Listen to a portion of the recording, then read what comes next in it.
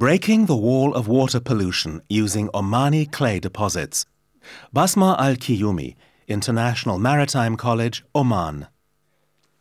Hi, good day. Um, I come from a country in which the desert constitutes a major part of the territory. Uh, I just wonder if you have ever been to a desert or have you ever felt you were dying for a drop of water? This is how a huge part of the world population feels.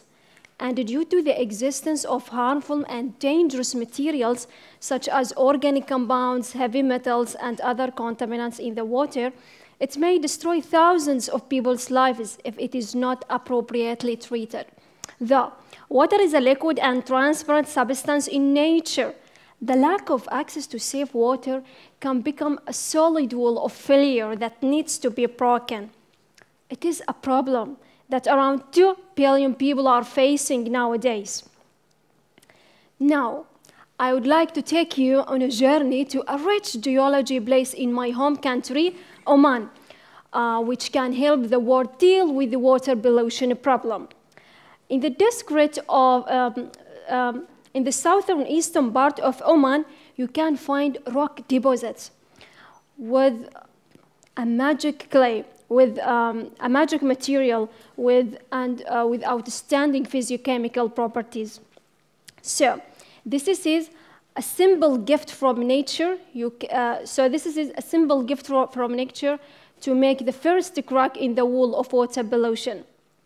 As you can see, when a piece of clay and contaminated water, because we have that clay from the rock deposits, we, we have rocks in the, in the southern eastern part of Oman. So when we take a piece of a clay and contaminated water are coming in contact with each other, the contaminated water diffuses into the inner structure of the clay.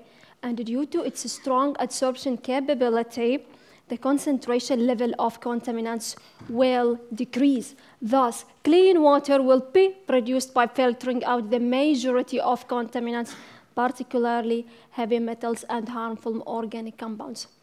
What is more, the process is entirely environmental friendly.